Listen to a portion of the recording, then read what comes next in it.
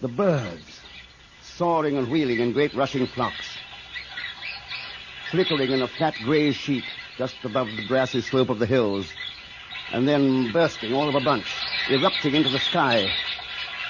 Restless, ceaseless, ever moving, ever moving, slashing as one in a perfect arc up, and then for a split moment, almost invisible as in their turning, the profile, thin as glass, presents itself against the sky.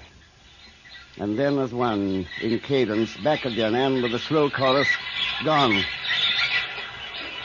Black and white, jackdaw and gull, mingling in strange, restless partnership, seeking some strange liberation, never satisfied, never still. Flocks of starlings rustling like silk, and the smaller birds, finches and larks, scattering from tree to hedge and back again. Compelled. By what?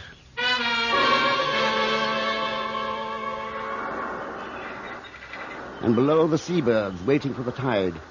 They have more patience.